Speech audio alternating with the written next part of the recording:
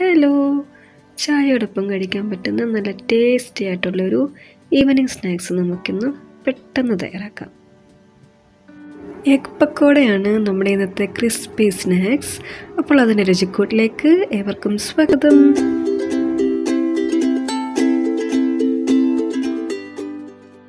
ഞാൻ മൂന്ന് മുട്ടയാണ് എടുത്തിരിക്കുന്നത്.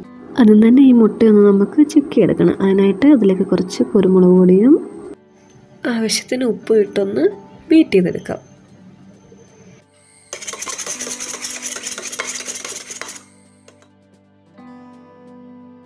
ഇനി നമുക്കിതൊന്ന് ചിക്കി എടുക്കാം അതിനായി ഒരു പാൻ വെച്ച് ആവശ്യത്തിന് എണ്ണ ഒഴിച്ച് എണ്ണ ചൂടാകുമ്പോൾ നമ്മൾ ബീറ്റ് ചെയ്ത് വെച്ചിരിക്കുന്ന എഗ് കൂടെ ആഡ് ചെയ്യാം. അങ്ങനെ നമ്മുടെ മുട്ട ഇവിടെ ചിക്കി എടുത്തിട്ടുണ്ട് ഒരുപാടങ്ങ് ചെറിയ കുഞ്ഞായിട്ട് വേണ്ട ഈ ഒരു വലുപ്പത്തിലാണ് നമുക്ക് ആവശ്യം. ചിലർ പക്കോട ഉണ്ടാക്കുമ്പോൾ ആദ്യം മുട്ട പുഴുങ്ങിയിട്ടത് ചെറിയ കഷ്ണങ്ങളാക്കും.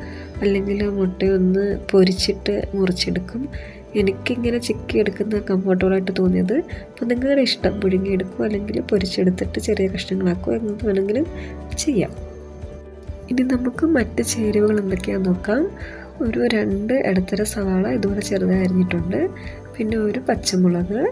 ഒരു മൂന്നാൽ കഷ്ണം വെളുത്തുള്ളി ചെറുതായി അരിഞ്ഞത്. ഒരു ചെറിയ കഷ്ണം ഇഞ്ചി കുറച്ച് കറിവേപ്പില പിന്നെ കുറച്ച് അയമോദകം പിന്നെ കുറച്ച് മല്ലിയില ചെറുതായിട്ട് അരിഞ്ഞത്.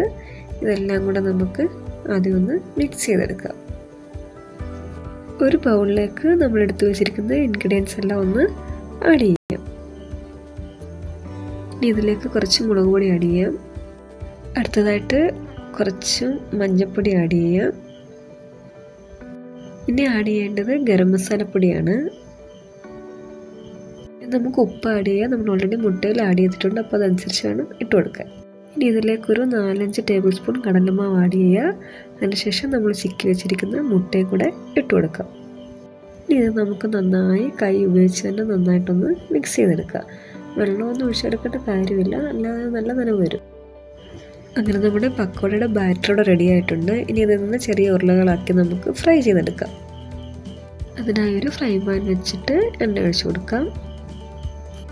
എണ്ണ ചൂടാകുമ്പോൾ നമുക്കിതിൽ നിന്ന് ചെറിയ ബോൾസാക്കി ഫ്രൈ ചെയ്യാം.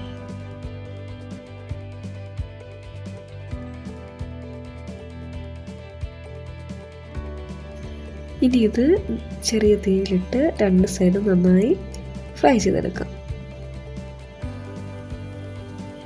ഇപ്പോൾ ഒരു സൈഡ് ഫ്രൈ ആയി വന്നിട്ടുണ്ട്. നമുക്കിതൊന്ന് തിരിച്ചിട്ട് അടുത്ത സൈഡും നന്നായി ഫ്രൈ ചെയ്യാം.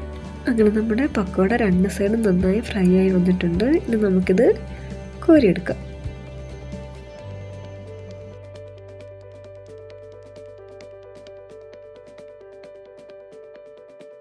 അങ്ങനെ നല്ല ക്രിസ്പി ആയിട്ടുള്ള എഗ് പക്കോട ഇവിടെ റെഡി ആയിട്ടുണ്ട്.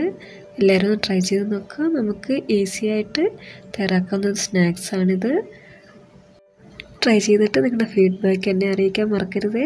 അപ്പോൾ പുതിയൊരു വെറൈറ്റി വീഡിയോ എത്തുന്നവരെ ബൈ ടേക്ക് കെയർ താങ്ക്